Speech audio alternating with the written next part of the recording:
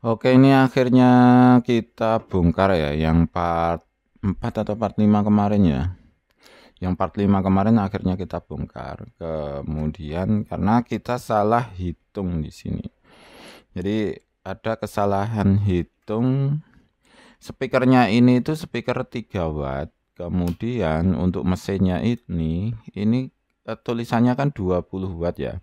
10 kali 2 artinya 20 watt. Ini mesinnya 20 watt kemudian untuk speakernya cuma 3 watt kalau enggak 2 watt. Otomatis ketika nanti ketika dibesarkan itu ngeber-ngeber banget. Jadi breb breb breb breb breb breb breb gitu. Jadi speakernya bagus lantang itu ya. Speakernya itu bagus lantang kemudian jelas jernih high fi lah kayak gitu. Cuma dia itu ya wattnya kurang aja. Karena wattnya kurang ketika dibesarin volume lebih dari setengah gini terus breb breb breb breb breb breb kayak gitu. Jadi ini share pengalaman aja ya. Uh, jadi kalau mau buat sound itu kita hitung kita hitung untuk soundnya juga. Jadi eh, speakernya. Speakernya itu uh, cocok enggak dengan mesinnya. Kalau mesinnya itu 10 watt ya kasih 10 watt. Kalau pengalaman kemarin itu kita kan pakai speaker ini ya. Sebelumnya pakai speaker ini kan speaker ini.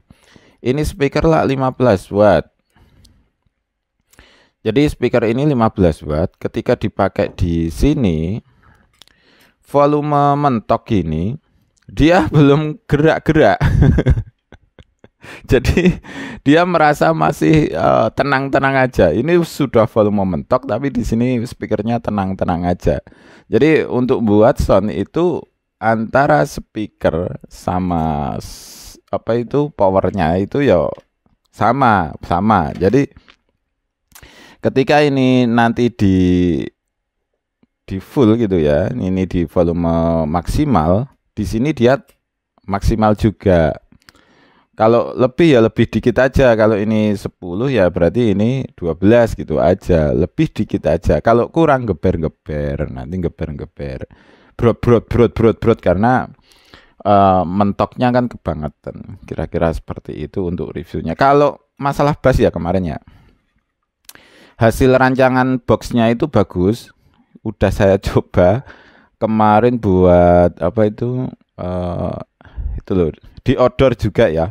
Di outdoor pun ini sudah mantap juga. Jadi kalau saya kemarin di part 5 kan saya bilang bassnya tipis-tipis gitu. Enggak juga enggak juga. Ternyata bassnya lumayan. Dengan speaker yang kecil-kecil cuma 2N seperti ini aja bassnya sudah lumayan keluar.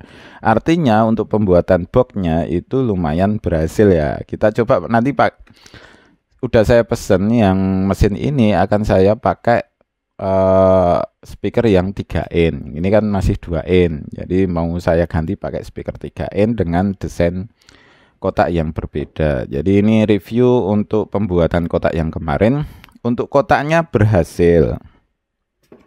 Jadi untuk desain kotaknya sukses ya. Cuma yang nggak sukses itu speakernya dan ini nggak bisa dibuka udah saya lem kalau dibuka berarti hancur.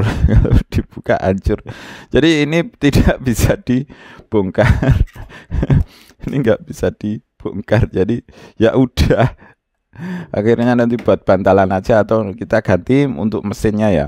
Mesinnya kita ganti aja pakai speaker yang eh apa pakai mesin yang lebih kecil yang 2 watt aja kita mesin ganti aja pakai yang 2 watt nantinya. Kira-kira seperti itu karena kotaknya sudah berhasil. Kotaknya biarin aja kayak seperti ini. Kemudian biarin aja. Nah, ya intinya saya ganti aja mesinnya yang 2 watt saja. Kira-kira seperti itu untuk review kemarin pembuatan. Akhirnya kita bongkar ya ini ya. Kita ganti aja nanti mesinnya eh, speakernya pakai yang 3N 3N pakai yang 3N yang 10 watt. Kira-kira seperti itu Terima kasih selamat mencoba dan ya, kita cari mesin ya. Kita cari mesin yang 2 watt aja nanti.